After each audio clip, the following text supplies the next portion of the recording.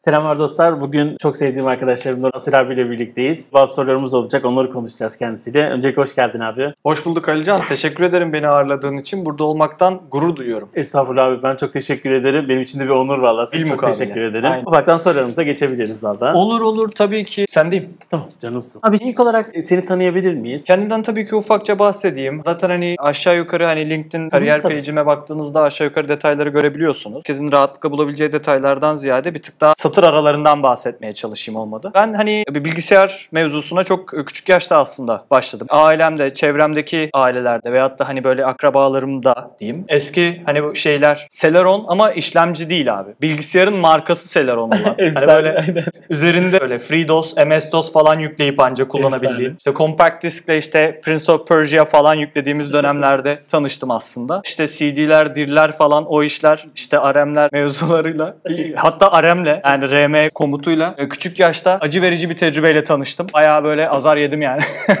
Birkaç kez bilgisayarı formatlama işlerini sebebiyet verdikten sonra. Onunla birlikte bayağı büyülendim tabii ki. Yani çok hoştu. Hatta ya ben şey bile yapmıştım vardır böyle. Nasıl çalışıyor? Gittim böyle disketin üstüne bakıyorum Prince of Persia yazıyor tamam mı? Takıyorum falan okey. O anki çocuk aklımda şey düşünüyorum hani disketin üstüne şey yazıyorum mesela işte sevdiğim bir karakter Tazmanya canavarı. Tazmanya canavarı yazıyorum onun oyunu çıkacak diye bekliyorum Ya, disket çok takı falan. o dönemlerden buralara geldik yani gibi size söyleyebilirim. Dolayısıyla hani serideki o Microsoft işletim sistemi serisindeki MS-DOS'tan 93, 95, 98, 2000, XP falan zaten XP'ye hep birlikte olmamız zaten hit ediyor da ben de o MS-DOS'tan başladım aslında kullanmaya diyebilirim. Bununla hevesim de arttı. Hep bilgisayarla birlikteydim, iç içeydim. Yani oyun çok ilgilenirim. Oyun mevzusu, oyun dünyasıyla. O da beni çok şey yapar ya. Bir de küçükken böyle ekonomik özgürlüğüne sahip değilsin ya. Tabii tabii. Çok Dolayısıyla yaratıcı çözümler bulmak zorundasın oyun Değil oynayabilmek için öyle söyleyeyim. Ve hani o yaratıcı çözümlerin de çoğu hiçbir zaman çalışmaz. Şimdi burada e, adını söylemek istemediğim çeşitli yöntemler olur. Hani onları mesela çalıştırmak, make it work. Bu arada bunu da kısaca belirteyim. Şey yapabiliyorum bazen. E, Türkçemizin kullanımı konusunda hassas olan izleyicilerimiz olabilir. Ee, şimdiden onlardan özür dilemek isterim. Ben arada bir böyle İngilizce ile karıştırıp verebiliyorum. Lütfen kimse kusuruma bakmasın. Şimdiden özür dilerim. O dönemden işte dediğim gibi hani bir şeyleri make it work yapmaya çabala. Hani o oyunu oynama hırsı ya da işte bir şeyleri yapma hırsı falan. Oradan başladı aslında mevzular. İşte ICQ'da 7 haneli ICQ numaraları falan. Tabii daha 6'lar 5'ler falan da var benim akranlarım arasında ama biz 7'ye yetiştik. Baktım geçen gün bir tane Hotmail hesabımı 99 senesinde açmışım falan. Oralardan geldim işte aslında. Orada da bir yazılım aslında backgroundluyum ben. Yazılım geliştirici backgroundluyum. 2013 mezunuyum. Bir süre yazılım geliştirmekle uğraştım. Birçok farklı şehirde müşterilerimiz oluyordu. Hani onlarla birlikte işte çalıştık. Eski işte üniversite arkadaşlarımla, collaboration'larla falan. Hani şirket kurup batırma işleri. Aynen. O dönemler. Ondan sonra mevzu oldu. Siber güvenliğe karşı bir. Onu da zaten ilerleyen şeylerde anlatırım dilersen. Nasıl derler? Siber güvenlik sektörüne giriş yaptım. Büyük seyini yaparak. O dönemden beridir de mezuniyetimden bir süre böyle yazılım geliştiriciliği. O dönemden sonra da bir iki seneden sonra da full siber güvenliğe devam ediyorum diyebilirim. Şu an kariyerimin 10, 11. senesinde falanım toplam kariyerimin diyebilirim. Bu şekilde kendim bu şekilde şey de, zaten bahsettim. Oyun dünyasını severim, takip ederim. Müzik, edebiyat, film. Özellikle müzik zevklerin harika. Teşekkür ederim, severim. Yani bugün bir statement olsun diye, bir duruş olsun diye Pink Floyd tişörtüyle geleyim dedim ama ya dedim Asil bu, bu saatten sonra nasıl bir politik bir du- duruş yapmak istiyorsan bırak Allah aşkına. Tabii bu da minik bir lakırdısı işin Evet. diyebilirim. Ben aşağı yukarı bu şekildeyim. Bu arada şunu da söyleyebilirim. Ekstra detay merak eden olursa benimle LinkedIn veyahut da herhangi bir kanal üzerinden iletişime geçerseniz merak ettiklerinizi cevaplamaya tabii ki çalışırım. Abi sen biraz daha böyle gölgelerde kalan savaşçılardansın. Özellikle siber güvenlik sektöründeki. Harika know-how'ların var. Özellikle kariyerin de zaten çok güzel. Zaten seninle bol bol videolar çekerek de community'nin de seni daha da tanımasını çok istiyorum özellikle. İnşallah da beraber yapacağız zaten. Bu konuda böyle en çok merak ettiğim bu azim ve tutkunun motivasyon kaynakları neler böyle? Hani seni böyle en çok böyle ellerini kaşındıran olaylar neler yani? Ya valla güzel soru Alican. Teşekkür ederim bu soruyu sorduğun için. Öncelikle sorundaki ilk ibareden başlamak istiyorum. Bu hani görünmez kahraman dedin. tabii. Bu da senin çok ince bir yorumun bu arada. Çok teşekkür ederim. Ama hani bu işi yaparken aslında birkaç tip insan var. Onlardan bir tipi benim diyeyim. Kesinlikle yargılamak yok. Şey daha işine geliyor bazı insanların işte. Hani ne kadar az görünür olursan aslında o kadar az başın ağrır konusu. Ama hani aslında sizlerin ya yaptıkları bu güzel işleri de gördükçe, inceledikçe aslında doğru olanın olabildiğince topluma, sektöre, bu konuya aç olan insanlara bir şeyler katmaktan geçtiğini ben düşünüyorum. Doğru olanın bu olduğunu düşünüyorum. Dolayısıyla normalde zaten çok da zaten çıkıp bir şeyler anlatıp etme hevesinde veyahut da vizyonda olan bir insan olmamama rağmen senin bu aktivitende, etkinliğinde aslında bulunmak beni o yüzden ekstra heyecanlandırıyor. Çünkü sizin bu vizyonunuza, senin bu vizyonuna aslında bir katkı sağlamış umarım Çok olacağım. teşekkür ederim Bunun doğrultusunda. tabii ki. Onu da belirtmek isterim yani. Onun haricinde ba- bana bu şeyi veren işte hırsı mı diyeyim, hevesi mi diyeyim, ellerimi kaşındıran mevzuyu mu diyeyim. Onu veren şey ya çok değişti. Aslında ben her zaman hangi işi yaparsak ya bunu sadece offensive security veyahut da siber güvenlik veya software development, IT falan değil. Her işte aslında bu böyle. Ya bir insanın kesinlikle hiç iş aralarında hiyerarşik bir düzen kurmadan her iş kolunda mavisi olsun, beyazı olsun, hizmeti olsun, servisi olsun, lojistiği olsun ne olursa olsun hangi işi yapıyorsak yapalım o işte bir kere bir odaya toplasınlar birkaç kişiyi. O odadaki o işteki en iyi kişi ben olacağım. Her zaman ben olmalıyım gibi bir aslında düstur aşağı yukarı. Bu da tabii ki hani insanın kendi yetiştirilişiyle alakalı belki de bilmiyorum ya karakteriyle alakalı. Herkesi de tetikleyen şeyler farklıdır. Ama ben şunun bana çok faydalı olduğunu gördüm. Her konuya veyahut da hani olabildiğince fazla konuya, olabildiğince fazla domaine hakim olursan süreci daha kolay yönetebiliyorsun ve istediğin yola daha kolay kanalize edebiliyorsun. Dolayısıyla istediğin vizyonu her e, senaryoda gerçekleştirme imkanın oluyor. E, açıkçası benim de hırsım hevesim her zaman buradan geliyor. Yani işlerin daha pragmatik, daha sonuç odaklı, daha hızlı çözülmesini sağlamak. Dolayısıyla hani bir şeyleri biliyor olmak. Hevesim, hırsım genellikle buradan geliyor ve her zaman hiçbir zaman da biten bir şey değil aslında böyle. Evet. Ne olursa hangi işi yaparsak yani hangi işe geçersen geç applicable, uygulanabilir. Abi bu arada biraz daha böyle olayları geriye alacak olursak böyle siber güvenlikte ilk tanışman nasıl oldu? Yani ilk izlenimlerin ilk böyle hani ben gördüğün anda siber güvenliği ve tanıdığın anda ben bu sektörde ilerlerim dediğin anda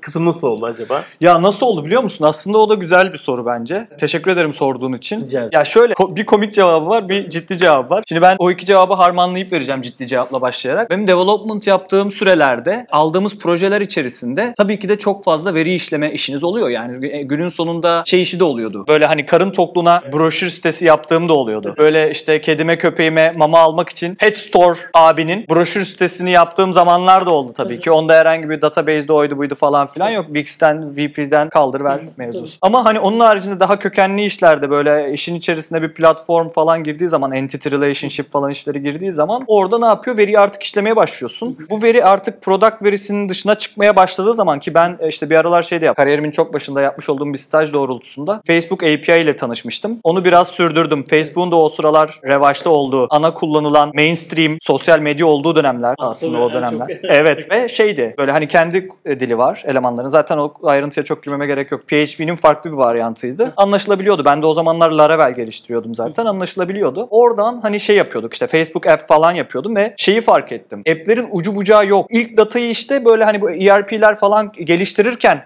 datanın aslında o elimde ne kadar çok bu data bana nasıl geldi falan. İlk bir orada bir uyanış yaşadım ama ikinci uyanışta Facebook app'ler falan yaparken insanların o confidential datasının böyle çok seri bir şekilde aktığını. Yani ben niçin bunları görebiliyorum? Bunları görmem aslında doğal mı, normal mi? Bana böyle doğal gelmedi yani o an. Anladın mı? Böyle. O kadar kuvvet güç falan ki bilgiyi biliyoruz her zaman çok ne kadar büyük bir döviz olduğunu. Orada bir uyandım aslında. Dedim hani bunların bence bir noktada denetlenmesi, çeşitli yerlerden sıkılaştırılması, efendim söyleyeyim belki de bir uyarı o zamanki vizyonunda belki de bir uyarı veyahut da işte o publisher'ın Facebook tarafından akredite edilmesi falan o dönemler onları düşündüm belki. Ama ondan sonra tabii o uyanışı yaşadıktan sonra şeydim böyle bir tık daha dedim abi bu sektör hakikaten e, kuvvetli. Çünkü üzerine kattığın zaman şu an hani cebinden ne yapıyorsun abi? Al cebinden çıkar vergini öde ya. Böyle bir şey var mı? Hani özellikle vergini diyorum. Çünkü özel sektörler bir tık daha hızlı ilerler ya. Ama artık o bile değil yani. Artık kamu kuruluşları bile hani bu işin içerisinde. Dolayısıyla bu ne kadar kuvvetli olduğunu yani sırf o da değil sağlık datan da elinde. Yani her türlü datan elinde. Günün sonunda bir kişiyi kişi yapan her türlü nitelikli data aslında. Senin sen olduğunu ben senin telefonundaki datandan anlıyorsam aslında benim seni imite etmek için da seni istismar etmek için sana ihtiyacım yok. Yani telefonun bana yeter gibi bir mevzuya geliyor. Bu da çok kuvvetli yani. Bir kişinin hayatını ve hatta kitlelerin hayatını yönetmeye kadar gidebilecek durumlar. Dolayısıyla hani oradan o kuvveti sezdikten sonra bir yükseğini aslında yaptım. Daha öncesinde de yaptığım eskiden ya herkesin vardır bu tarz işleri. Bu arada hani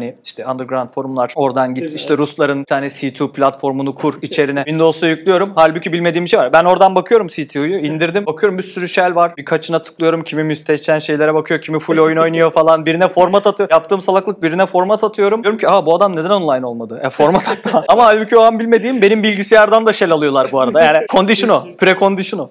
O tarz işler falan. Dediğim gibi yükseğini yaptım bu işinde. Daha sonrasında biter bitmez de pentester olarak aslında başladım siber güvenlik şeyine, kariyerime diyebilirim. Bir de şey vardı pardon. Bir de komik cevabım vardı onu söylemeyi unuttum. şey de çok önemli bu arada. Mr. Robot dizisinin e, kronolojik olarak çok stratejik bir release date'i var ya çıkış tarihi. Hani o da stratejik olarak doğru bir konumdaydı yani. Bu arada bence bu da kümülatif olarak birçok kişinin de hikayesinde yer alan bir dizi olduğuna da eminim bu arada. Kesinlikle abi. Evet, aynen. Abi offensive security denildiğinde böyle aklına neler geliyor ilk olarak? Ya offensive security dediğimiz zaman zaten aslına baktığında offensive security'de şey böyle insanların cyber security hadi bakalım böyle bir mevzu var. Üzerine bulalım dedikleri bir mevzu değil yani. İlk başta aslında tehdit olduğunu kanıtlaması offensive security ile Değil mi? birlikte başlıyor. İnsanların bu offensive mindsetiyle birlikte aslında cyber security birazcık da kuvvetleniyor diyebilirim yani direkt üstümüze almayayım da ben de bu arada konulardan çok bahsetmedim. Trendyol'daki şu anda 5. senem. İlk başladığımızda da hatta seninle birlikte de ekiplerimiz henüz ayrı değildi. Her Evet. domainden işe bakıyorduk. İşte Çok Pentest geliyordu sen bakıyordun atıyorum Tabii, işte bot mitigation işine ben bakıyordum falan. Dolayısıyla hani domainimi sırf offensive security exclusive diyemem. Ama hani şu anda background'um olduğu için bu işte yapıyorum ve söylemeliyim ki full araya teftiş edebilir bir domain aslında. Bilişim dünyasının aklınıza gelebilecek bütün componentlarını, bileşenlerini, bilişim dünyasının bütün bileşenlerini her yönünü teftiş edebilirsiniz offensive açıdan aslına bakarsanız. Yani side channel'lar, işte network bazlı bir kere zaten hani bütün yani layer'ları, o hepsini bilmemiz gerekiyor. Dolayısıyla layer'ların hepsine hakim olalım. En çok atraksiyon hangi layer'larda dönüyor? En çok application layer'da dönüyor zaten aslına bakarsan ama orası sadece asıl alan sadece orası olmak zorunda değil. Dediğim gibi side channel'larla layer 2'ye kadar gidebilirsiniz. Layer 4'te de daha farklı availability issue'larına belki de hit edecek şeyler yapabilirsiniz. Dolayısıyla evvela komple layer'lara hakimiyet olması gerekiyor. Günün sonunda da bence faydalı bir alan olduğunu düşünüyorum. Offensive mindset olması faydalı, yararlı olacaktır ama bu da doğuştan gelen bir yetenek değil en nihayetinde. Geliştirilebilir bir şey. Her şey yani her business ihtiyacı beraberinde bir bilişsel envantere ihtiyaç duyuyor. Daha hızlı yani eskiden abaküsler yazılar, dumanlar falan tabii ki artık öyle değil yani. Dolayısıyla bilişsel enva- envantere ihtiyaç duyuyor daha hızlı, çevik olabilmek adına ve o business'ın ihtiyacı da her zaman istismar edilebilir açıklıklar bırakıyor. Bunları e, sürekli teftiş ediyoruz, kontrol ediyoruz ve günün sonunda da şeytanın aklına gelmeyecek şeyler der, derler yani hakikaten. Evet. Geçen bir tane video izledim işte eleman şey yapıyor kendi işte pinlerini falan hardware'leyip Evet ya. BitLocker, BitLocker bypass yapıyor. Evet. Direkt anakartta BitLocker bypass yapıyor falan ya. abi. Manyak herif mesela işte. Bu gibi insanlar sayesinde aslına bakarsan ne oluyor? Her zaman daha da harden bir dünyaya doğru. İşte dediğim gibi en başlarda neydi abi? Bahçeydi yani. E şöyle bir dönem de vardı. Eminim vardı. Çünkü işte şeydi yani. Akıllı switchler falan birbirine hub'larla aslında bağlıyken networkler e, sen kendi evinden Wireshark açtığında muhtemelen komşunun paketini falan görüyordun yani. Hani Dolayısıyla bu tarz şeyler denene yanıla offensive mindsetli insanlar tarafından şu an olduğumuz yerdeyiz diyebilirim. Abi offensive security alanında da birden fazla ekibi yönetiyorsun. Bu ekiplerden böyle biraz bahsedebilir misin bizler için de? Tabii bahsederim ama daha sonrasında sizleri öldürmek zorunda kalır diye bir espri yok tabii ki. Şaka. Bir an böyle o James Bond'un hep yapmak istediğim bir esprisidir. Onu da bir yapayım dedim aradan. ya şöyle hızlıca hemen ben konuya gireyim. Şu an içeride 3 tane ekibimiz var offensive security altında. Penetration testing ekibimiz var. Breach and attack simulation ekibimiz var. Bir de vulnerability management ekibimiz var. Bu üç ekip de tamamen birbirinden farklı operasyonlar yürütüyor ve farklı know-how'lar aslında sahipler. Burada da mevzu neden böyle hani 3 ekip veyahut da bu 3 ekip nasıl oldu? Belki oradan başlamak mantıklı olabilir. Çünkü bak e, çoğu insan orayı aslında kaçırıyor böyle hani hem özellikle daha çok gençler belki de işin heyecanına kapılıp bu ekipler hepsi nasıl oluştu? İhtiyaç. Business'ın ihtiyacına göre. Yani bir yerde mesela dere akar. O derenin çevresinde insan toplanır. Çevresinde insan toplandıktan sonra aralarından bir tanesi ekmek yapıp satmaya başlar. Diğeri balık tutup satmaya başlar. Bu düzen kimsenin başına gelip sen bunu yapacaksın demesiyle olmaz. Onlar bir insan düzenidir. Yine aynı şekilde yani burası da bir dere veyahut da bir köy kasaba değil. Business yani bir ticari bir alan, bir iş alanı. Burada da yine aynı şekilde insan faktörü ve çeşitli süreçler var. Bu süreçler doğrultusunda da ihtiyaçlar var. Bu ihtiyaçlar doğrultusunda yapılan işler var. E ne yapıyorsun? Bu işleri kümeliyorsun ve adına ekip diyorsun. Şimdi burada da ne yaptık biz? Yapılan işleri kümelendirdik ve günün sonunda Breach and Attack Simulation ekibimiz, Penetration Testing ekibimiz ve Vulnerability Management ekibimiz oluştu. Bunlardan birazcık briefly bahsedeyim çok müthiş detay vermeden. Breach and Attack Simulation ekibimiz kırmızı takım operasyonlarından mükellef, sorumlu. Burada sırf sadece yaptıkları iş bu değil Kırmızı takım operasyonlarını organize ediyorlar. Yani planlıyorlar, execute ediyorlar, çıktılarını ekiplerle paylaşıyorlar. En çok da zaten CDC ekibimizle e, senin supervisor'ını yaptığın ekibimizle çalışma fırsatı da buluyorlar. Bu birinci kalemlerimizden oradaki. E, birkaç tane daha kalemimiz var burada. Mesela şey yapmayı çok seviyorum. Hani milyon dolarlık belki de bazen yeri göre security çünkü sonuçta hani pahalı hani ucuz yolları da var ama büyük ölçekte büyük ölçekli enterprise'larda çözüm her zaman çok ucuz olmayabiliyor. Yani çok datadan bahsediyoruz çünkü. Daha enterprise çözümler gerekiyor. Dolayısıyla bunların da lisans ücretleri pahalı çok şey değil. Günün sonunda ne oluyor? Burada öyle desek bile öyle deyip geçmemek gerekiyor. Günün sonunda bir gözünde buna da teftiş etmesi gerekiyor. BAS ekibi altında biz bunu iki şekilde inceliyoruz. Bir automated bir şekilde sanki bir vulnerability scanning yapıyormuş gibi attack simulation araçlarıyla çeşitli güvenlik kontrollerimizin taranması ve çıktıların ilgili ekiplerle paylaşması. Buna örnek vereyim EDR, DLP, WAF, Email Gateway Security, Firewall, NDR daha örnekler çoğaltılabilir elbette ki. Bunları automated bir şekilde hani bir kabasını almak veyahut da hani full ver işte aradan çıkanları en azından bir KPI üretsin fixleyelim. Bir de paralelinde daha niş ilerlediğimiz bir alanda var BAS ekibinde. Mesela işte şey de yapıyoruz. Manuel assessment'lar da yapıyoruz. Gerçekten hani tekniker arkadaşımızın automated değil manuel bir şekilde işin içerisine girip zararlısını yazıp EDR'ı atlatmaya çalıştığı, WAF'ı elinde oluşturduğu payload'la atlatmaya çalıştığı veyahut da daha ileri teknik işte mühendislik incelemeleri sonucunda oluşturduğu işte payload'lar, escape karakterler falanla ürünleri atlatmaya çalıştığı daha niş bir alanımız da var yine burada. Ve bunlardan da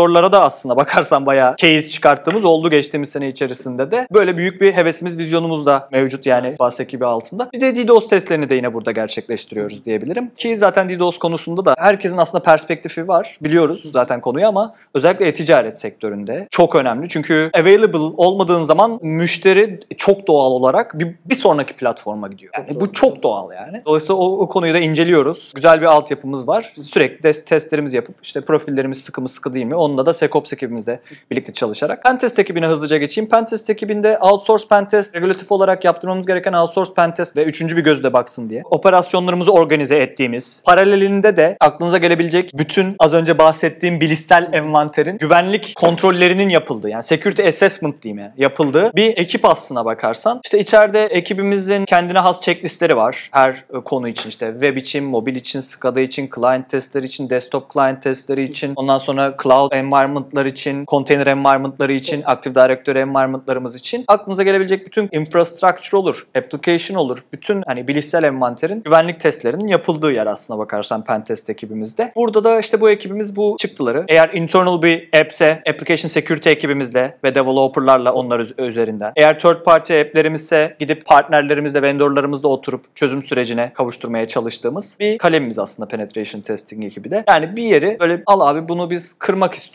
Bunu bozun diyeceğiniz ekip orası diyebilirim yani bu üç ekipten. Bir de vulnerability management e, ekibinden birazcık da bahsedeyim. O ekipte yine hani böyle trend yol dediğimizde zaten bu çok şey değil. Gizli bilgi değil. Hani dışarıya açık metrik dashboardlarımız falan da var. Ya yani birazcık hybrid bir ortam. Hybrid ortam ne demek? Kendi yönettiğimiz kendi data center'ımızdaki VM'lerimizden tut container ortamlarımıza, çeşitli cloud provider'lardaki VM'lerimize ve managed servislere kadar çok fazla envanter var ve fiziksel cihazlar tabii bunlar hepsi. Günün sonunda bunların da şey olsa mesela çok isterdim. Şu anda mesela işte yeni kurulan işte startuplar veyahut da hani daha böyle yeni kurulmuş sırf startup değil teknoloji e-commerce artık şeyler genelde hep cloud altyapısında hemen şak şak bir tane cloud altyapısında managed service olarak ayağa kaldır. Security Center'dan her şeyini izle. Önüne Cloudflare'i koy çiçeksin abi. Kralsın. Senden iyisi yok falan. Bunu çok isterdim mesela. Ama işte bizde biraz hybrid olduğu için Vulnerability Management ekibinin de içeride bunu böyle yoğun böyle her platformun kendi kını verecek şekilde asetler üzerinde Vulnerability Management Lifecycle işlettiği bir ekibimiz. Burada da çok fazla servis veriyoruz aslında Trendyol'un geneline. Hybrid environment'taki bütün infra owner'larımız, security owner'larımız, developer owner kimse hepsinin bu asetleri tipi fark etmez. Zafiyetleri çeşitli scanner'lar ve polisiler yardımıyla enumerate ediyoruz. Daha öncesinde asetleri tabii enumerate ediyoruz. Ondan sonra vulnerability database'ini oluşturup otomasyonla tabii ki ilgili ekiplere yayıyoruz. Daha fazla servisimiz de var içeride tabii ki ama bunları da ayrı bir sohbette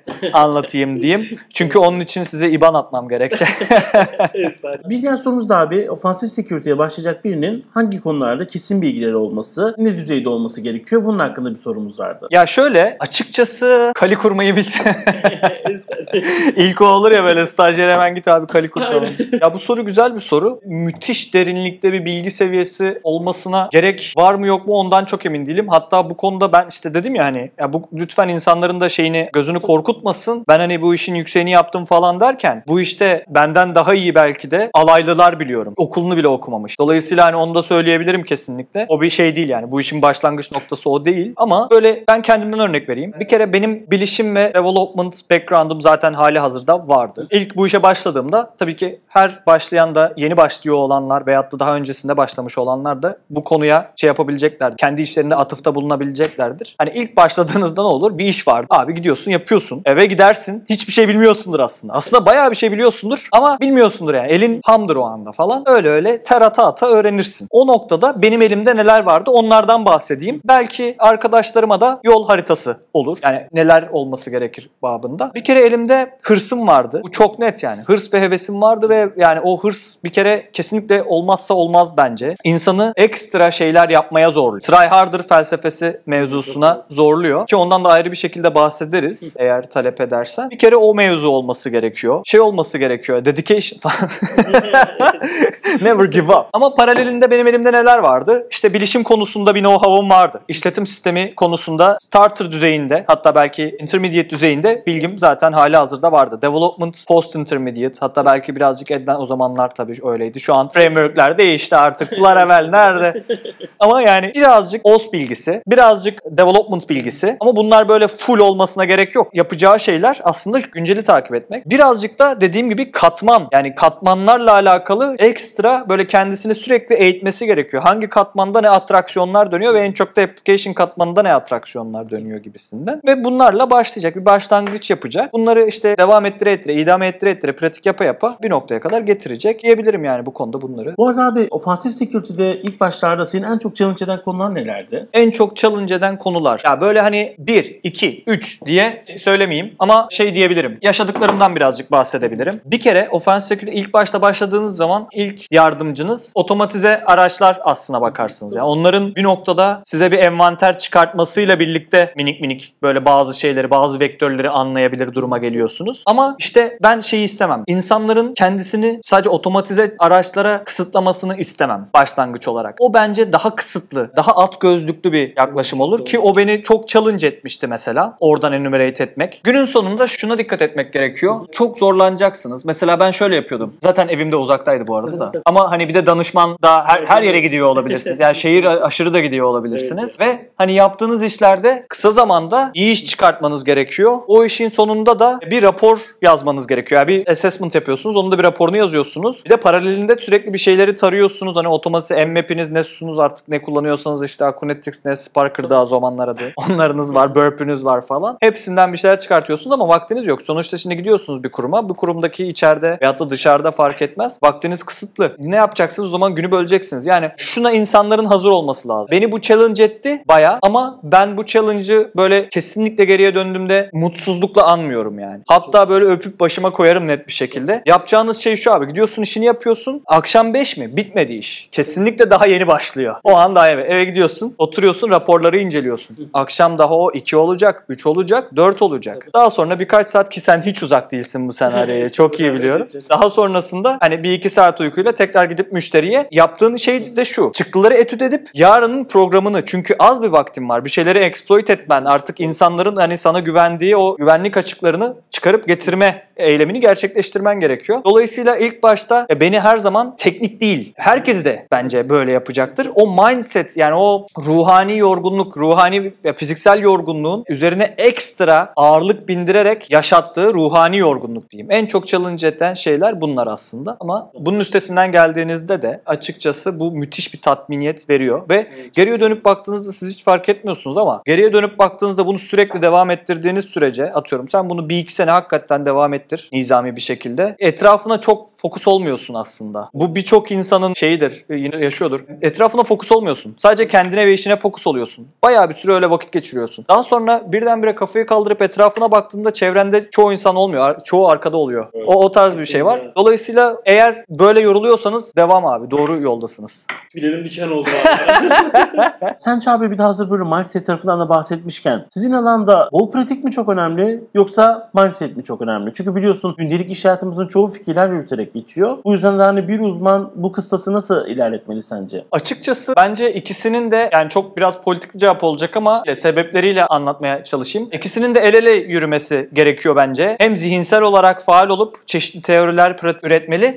ve bunları da pratiğe dökmeliyiz. Pratikte de tecrübe ettikçe yanına ekstra teorik bilgiler açıyor. Birbirine böyle güzel el ele giden bir süreç. Orada da bir örnek vereyim. Mesela düşünmenin, üzerine teori kurmanın, mindset'in, kafa yapısının önemini biraz özellikle söyleyeceğim. Şimdi mesela çeşitli sektörler, her sektörün kendisine göre içerisinde yaptığı ticari, business akışları farklıdır. İhtiyaçları da farklıdır. Kimde işte işte fatura alma süreci, yük bindirme, mal kargolama süreci varken kimisinde işte eğitim, öğretim, sağlık servisi hizmeti sağlama artık neyse yani hani. Yani dolayısıyla ihtiyaçlar farklılaştıkça içeride kurulu olan düzen de farklılaşıyor. İçerideki envanter de farklılaşıyor yani dünya farklılaşıyor. Günün sonunda burada en başta evveliyatında bir testini yapacağınız veyahut da bir teftişini sırf bu ofensif açıdan düşünmemekte faydası var. Bir teftişini yapacağınız architectural bir servis de veriyor olabilirsiniz. Operasyonun önce bir sektörüne bakmak faydalı bence. Buradan sektöre bakıp bu sektörde ne gibi operasyonlar, ne gibi business'lar öngörüyorum? Bu business'lar ne gibi, ne şekilde security incident'lara yol açmış daha öncesinde? Mesela işte security incidents in health business gibi gidecekleri veyahut da assessment'ını yapacakları kurum kuruluşların sektörünü öncesinden insanlar bence ya ben yapıyordum bir süre sonra yapmaya başladım ve faydasını gördüm. Bu keywordlerle ya da daha farklı keywordlerle araştırıp ona göre etüt yaparak giderlerse daha seri, daha hızlı sonuçlara ulaşabilirler. Tabii ne olacak? Bu düşünme mindset safhası olabildiğince işte bak buradan mindset geliyor işte. Kırmaya çalışıyorsun, bozmaya çalışıyorsun ama içeride ne olduğunu bilmeden kırmaya çalışamazsın. Bir ya fikir üretemezsin. Yani içeride ben şimdi ben sana şuradan bir tane şey göstereyim. Böyle altta bir çubuk tutuyorum Alican masanın altında. Senden bunu kırmanı istiyorum. Bu çubuk demirden mi, çelikten mi, tahtadan mı değil mi? Hani bunu bilirsen ona göre sen dersin ki o zaman işte şey Breaking Bad'de ne vardı bir şey atıyorlardı toz. Aa, değil? Aynen. Adını unuttum. E, toz merkürü. Aynen. Toz merkür atıyor falan. İşte Evet. mesela çelikse ondan atarsın. Tahtaysa dizimde kırarım dersin Evet. falan ama görmezsen bilemezsin. Ona göre fikir yürütürsün. Kendine zaman katarsın. Şimdi bu mindset kısmı. Paralelde de pratik kısmı da işte sürekli mesela e, günceli takip edin. Güncel deployment'lar nasıl yapıyor? Dünya nereye gidiyor? Asıl bilişim nerede dönüyor? Hangi protokollerde, hangi uygulamalarda dönüyor? Hangi katmanda dönüyor? Bunlar üzerine senaryolara sahip birçok aslında ortam var. Online olarak da gidip pratik yapabileceği insanların. Bol bol pratik yapmak gerekiyor. Asla korkmayacaksın. Bir şey alacaksın, kuracaksın, bozacaksın. İşletim sistemini boz, tekrar kur. Ne olacak ki? Bu tarz şeylerden insanların korkmaması, elinin sürekli onu yapar halde olmasını ben isterim. Abi bir de diğer sorumuz böyle en çok da merak edilen sorulardan biri. Ofansif security alanında sertifikasyonun önemi sence nasıl abi? Ve alınmalı mı? Ya valla alınmalı tabii ki. Şey değil yani. Hani böyle eskiden vahşi batıda şey satarlarmış ya böyle saç çıkartan, aşık yapan bilmem ne falan böyle. Snake oil diyorlar ona da. Evet, snake oil. Ha, bu snake oil değil belli yani. Birçok sertifikasyon sınavına sen de ben de girdik bir şey katıyor muhakkak insana. Şey de biliyorum yani özellikle danışman sektördeki arkadaşlarımın çilelerini de biliyorum. Danışman sektörü birazcık masanın diğer tarafı yani. Ben de bulunduğum. O tarafta bu konular birazcık böyle ekipten çok kişiye bindirilebiliyor bu işin sorumlulukları.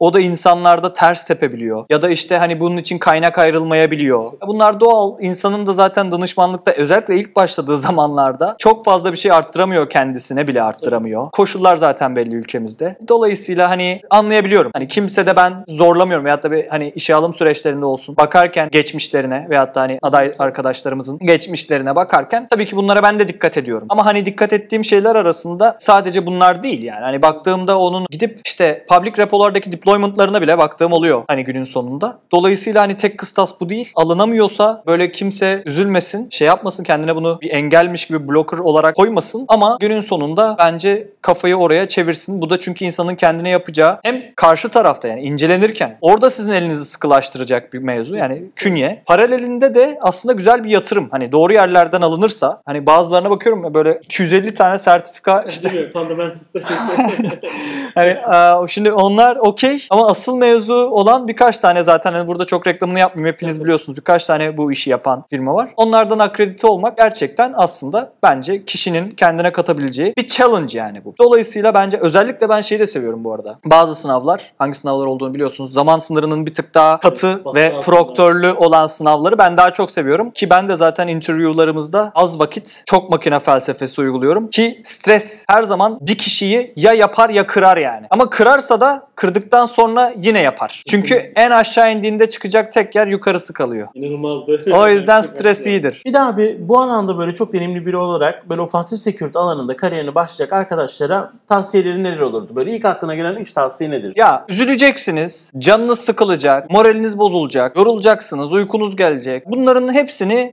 vücudunuzun ihtiyaçları olarak düşünmeniz gerekiyor. Günün sonunda hedefinizi net belirlediniz. Onun arkasından gitmeniz gerekiyor. Biraz dirayet gerekiyor. Yani günün sonunda ilk cevabım kesinlikle dirayet yani. Yüzde yüz yani. Her sektörde böyle yine. Dediğim gibi bu sadece siber güvenlikte değil yani. Bu ilk cevabım olacak. Bir de yani ucu bucağı yok ya. Denersin denersin denersin. Hep aklıma şey geliyor. Böyle bir tane karikatür gibi bir şey resim var. Eleman böyle kazmış kazmış kazmış. Son bir vursa elmaslar falan öyle bir caps var ya. Çok üzücü cidden kesinlikle. Ve bizde özellikle ofensifte de öyle bir mevzu var ya böyle bir sürü payload denersin. En saçma bir şey unutmuşsun Hmm. meğersem. O arkada sintaks onu böyle bir kulakta olsa tanıyacak falan. Onu denemeyince patlıyor falan. O dirayet oradan geliyor. Kesinlikle o try harder mevzusuna ben Çok doğru. çok kesinlikle arkasındayım yani. Dirayet. Bu aklıma gelen ilk şey. İkinci mevzu da yani offensive security olsun, security olsun fark etmez şey olacak. İyi bir envanteriniz olması gerekiyor. Yani repertuarınız olması gerekiyor. Repertuar. Envanter değil, repertuar diyeyim. O da nasıl olur? Ya ben nasıl yapıyordum? İşte makineler çözme, o bu şu bunlar zaten bilindik şeyler. Ancak şu da çok önemli bence. Ya kimisi, herkesin yaklaşımı farklı bu benimki. Kimisi de mesela walkthrough okuyordu. Ben walkthrough'u çok okumuyordum. Ama hani onlar da çok başarılı yerlere geldi. Dolayısıyla değişiyor. Herkesinkisi kendine doğru olanı bulması gerekiyor. Ama ben şunu kesinlikle farkını gördüm. Keywordler ne kadar şey bilirseniz aslında konuyla alakalı, bilişim se- sektörüyle alakalı. Google funuz falan da o kadar gelişiyor zaten ama mevzu şu. Dirayet ile birlikte ilk başta bahsettiğim sürekli okumak yani aslında. Çok doğru. Hani bir şeyler kurcalarken özellikle makineler çözüyorlar arkadaşlarımız biliyorum çeşitli platformlarda. Burada ezbere gitmemek aslına bakarsan. Çünkü ben şunu yaşadım. Bir şey okuyorum. Okurken protokoldeki bir handshake ile alakalı bir şeyi okuyorum mesela. Okumam gerekiyor. Onunla alakalı başka biri bir yerde hint vermiş. Şu an tamamen faraza konuşuyorum. Stack Overflow falan filan. Orada o hinti yaparak mesela çözüme ulaşıyorum. Ha blogu kapatıyorum diyelim. Şimdi o yanlış. O yanlış bir hareket. Neden kapatıyorum? Onu incelemek lazım. Aslında kimse o blogu kapatmak istemez ki. Ama neden kapatıyor? Çünkü ne, şundan okuyacak ve anlamayacak. Canı sıkılacak yani herifin anladın mı? Ama işte bu da şu şekilde aşılıyor. Ben o canım sıkıldı sıkıldı daha sonra ben bunu yapmayayım ya. Okuyayım hakikaten dediğim noktada şöyle bir kırılım yaşadım. İlk blokta blogun %5'ini anlarsın tamam mı? Daha sonra bundan 2 ay sonra bunu devam ettir. Artık herhangi bir konuda bilişim dünyasına ait herhangi bir konuda bir blog oku. Artık oradaki blog yazısının %80'ini %85'ini en aşağı anlayabilir konuma geliyorsun aslında. Çünkü o 2 ay boyunca bayağı keyword katıyorsun kendine ve içini doldura doldura geliyorsun yani. Ve ondan sonra artık hani bundan bir 6 ay sonra falan bakıyorsun hani sadece başlığından artık anlıyorsun içeriğini moduna geliyorsun. Dolayısıyla hani okumak kesinlikle okumak ve oradan vazgeçmemek, oradan dönmemek, ezbere de yapmamak. Bu da ikinci olabilir. Üçüncü ne olabilir? Çok uyguladığın abi şey olabilir. Tryharder. Evet ya hakikaten try harder yani. Üçüncüye de onu diyelim. Öyle olsun. Ee, arkadaşlarıma bu tarz bir şey olsun yani. Öneriler olsun. Bu soru biraz daha böyle bir zorlayıcı bir soru böyle. Geçmişe dayalı böyle hafızanı şey yapacak. Kendi kariyer başlangıcını da düşünecek olursak yeni başlayacak arkadaşa neleri yapmaktan kaçınmalarını tavsiye ederdin abi. Az önce bahsettiğim mevzu ezbere iş yapmaktan kaçınmalarını tavsiye ederdim. Konuşmadan önce düşünmelerini, düşünmeden konuşmaktan kaçınmalarını tavsiye ederdim ya da. Ya valla kaçınmak derken işte şey aslında insanın kendi e, yanlış habitlerinden kaçınması gerekiyor aşağı yukarı. Herkesin en büyük düşmanı genellikle kendisi oluyor yani. Dolayısıyla o kötü huylarını tespit edip onlardan kaçınmasını tavsiye ederim. Paralelinde ekstra mesela korkmaktan kaçınsınlar bence. Korkmasınlar değil yanlış oldu özür dilerim. Korkmaktan korkmasınlar. Korkmak bence doğal yani bu süreçte. O korku bizi hayatta tutan şey. Şimdi tam tersini düşünecek olursak Hı. böyle yeni başlayacak arkadaşlara bunları mutlaka yapın dediğim böyle aklına gelen 3 tane şey ne olur? Dediğim gibi o layer'ın yani bilişimin döndüğü bu katmanların hatim edilmesi gerekiyor abi. Bu çok, çok benim doğru. için çok önemli. Hakikaten önemli. Çünkü bir kere zaten hani bu silikon üzerinde ilerleyen elektrik dalgalarının hani kalkıp şuradaki bir tahtanın üzerindeki bir katmanda hareket etmeyeceği aşikar yani. Battlefield'ı belli. Yani senin savaş alanının sınırları belli. Cephelerin belli yani. E Bunları bilmeden savaşa girmek bence çok amatörce bir iş olur. En nihayetinde bu cepheleri gerçekten hatim etmelerini isterim en nihayetinde. Sürekli az önce de bahsettim ellerini çamura bulamaktan kesinlikle korkmamalarını isterim. Kursun bozsun, kursun bozsun yani yaptığı şeyi software işi götürüp yaptığı böyle hani inanılmaz yüksek e, CPU overclock bir şeyleri kırmaya çalışmak, şifre kırmaya çalışmak falan işleri ekstra yapmayacaksa hardware'e müthiş bir zarar vermesi olası değil. Ha çok şey denerken yanlışlıkla yanlışlıkla bir malware alır içeriye Evet, falan evet. ona da dikkat etsin muhakkak. Evet, Ha bu arada yapmaktan kaçının veyahut da yapın Evet. konularına bir de bunu da ekleyeyim. Şimdi insanlar heyecanla bir sürü şeyi e, git clone yapıyor, indiriyor, çat çut. Bunların da bir arkasına bir bakmak gerekiyor. Doğru. Akredite ortamlardan aslında işte exploit DB'de oydu buydu falan bunun karşılığı var mı yok mu bunu birazcık araştırıp veyahut da kişinin publisher'ın gidip işte Twitter'ın olsunu busunu bakıp aslında hani inceleyip o tarz şeylere baksınlar. Çünkü benim bu arada çok şans yani 10-11 senelik sektör hayatımda bir kere henüz daha başıma gelmiş değil. Maşallah harika. Ama bak şimdi bunu dedim ya. Allah korusun. Olma yazıya dikkat etsinler. Ellerini sürekli çamura bulasınlar. Aktif olsunlar, faal olsunlar. Bir de şey olsunlar. Ben şunu da çok faydalı buldum açıkçası. Kendim gelişirken de aslında ben bunu faydalı buldum. Demin de sevdiği bir laf vardır. Hiçbir zaman oldum demeyeceksin aslında değil mi? doğru. Oldum demek biraz yanlış çünkü nereye oldun? Veyahut da hani olmanın tanımı ne? Hani şu an olduysan o zaman ileride olacağın kişi? Çok doğru. Mantıken yanlış. Dolayısıyla oldum demek yanlış ama hani henüz daha çok toyken diyeyim. Yaptığım şeyde fark ettiğim şeylerden biri de bir şeyleri anlatmak da aslında. Bir şeyleri anlatmak, karşıdaki kişiye aktarmak, öğretmek. Bunlar hem bilgi paylaşımı ve sektörel olarak daha ileriye gitmemizi sağlayan şeyler hem de kişinin aslında bildiklerini gerçekten biliyor mu bilmiyor mu'nun etüdünü çok iyi yapmasını sağlayan da bir ortam. Dolayısıyla benim bir sonraki üçüncü ve son olarak söyleyebileceğim önemli düşündüğüm şeylerden bir tanesi de abi öğrendiğinizi kesinlikle çekinmeyin. Bilginizi saklamayın. Bilgi paylaştıkça çoğalır ve paylaştıkça emin olun yenisi gelir. Paylaşın. Öğrendiklerini bir ilk iki bahsettiğim şeyden elinize gelen dataları hemen yanınızdaki yakın çevrenizdeki yakın core ekibinizdeki kişilerle paylaşın. Ve ekibiniz yoksa oturup yazın bir yerlere. Biz okuruz yani. Abi son olarak böyle diğer alt alanlarda ilerleyen yani işte Blue Team'in alt alanları olsun, işte diğer application security'nin olsun alt alanında ilerleyen arkadaşların ofansif security alanına yönelecekken tasyon yapmak isteyen arkadaşların hakkındaki tavsiyeler neler olurdu? Ya vallahi hani hala hazırda e, baktığın zaman iki ekip, şu bahsettiğin iki ekipte açıkçası e, ofensif mindset'i olması e, elzem arkadaşlar aslında bakarsan. Dolayısıyla çok yabancılık çekecek arkadaşlarımız değil. Şöyle genel bir cevap versem Alican çok mu dert olur? Mesela şöyle bir şey desem yani security'nin herhangi bir domaininden herhangi bir domainine fark etmeksizin şeyi inceleyebilirler. Güncel teknolojiler Evet, ve bu teknolojilerin sahip olduğu tehditler. Yani hangi domainden hangi domaine geçeceksen hani Framework'leri, Ha, değil mi? evet, hani, şeyleri, evet bu teknolojilerin işte bu altyapıların kişiler tarafından nasıl habitlerle yani alışkanlıklarla kullanıldığı ya bu birçok şey olabilir. Bir uygulama olabilir. Bir repozitörü olabilir. Bir efendim söyleyeyim bir switch yönetim altyapısı olabilir. Tabii, tabii hani bir çok- parmak basma işte kart okutma altyapısı PDKS altyapısı olabilir. Fark etmez. Güncel olarak bir business nasıl çözülüyor ve o çözme yöntemine ait teknolojik bileşenlerin genel tehditleri, risk alanları nelerdir? Bunları aslında çıkarttıkları zaman zaten aşağı yukarı siber güvenliğin hangi domainindeyse hem kendi domainiyle alakalı Mi? bir Tabii. aksiyon planı belirleyebilir. Hem de geçiş yapmak istediği bir ekip veyahut da hani bir domain varsa onunla alakalı aksiyon planı belirleyebilir. Çünkü kişinin güncel kalması çok önemli. Yani e, doktorlar, doktorlar. Tabii, aynen. E, doktora gidiyorsun, doktora gidiyorsun. Kimi içindeki bir şeyi düzeltmek için seni böyle yarıya kesiyor. Kimisi bir delik açıyor, işi bitiriyor mesela. Hani sen hangisini tercih edersin? Hangisi? Hayır, tercih meselesi de değil. Kiminin masada kalma ihtimali daha düşük falan mevzuları var. E dolayısıyla her meslekte olduğu gibi özellikle bizim mesleklerimizde de çok kritik her zaman güncel kalmak diyebilirim. Bu Abi harika bir söyleşi oldu. Ben inanılmaz keyif aldım.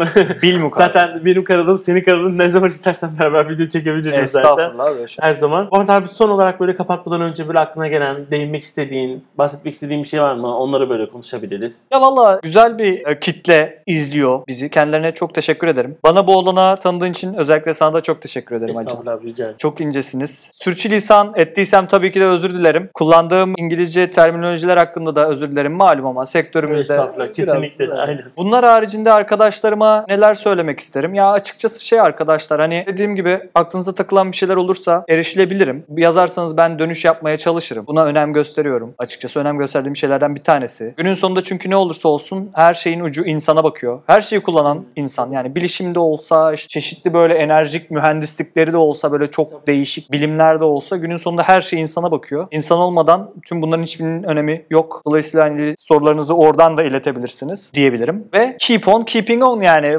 ekstra bir söyleyeceğim bir şey yok. Süpersin abi. Bu şekilde. Çok teşekkür ederim. Abi Ben kendine teşekkür çok iyi ederim. bak. Çok teşekkür ederiz. Görüşürüz. Görüşürüz abi. Haydi.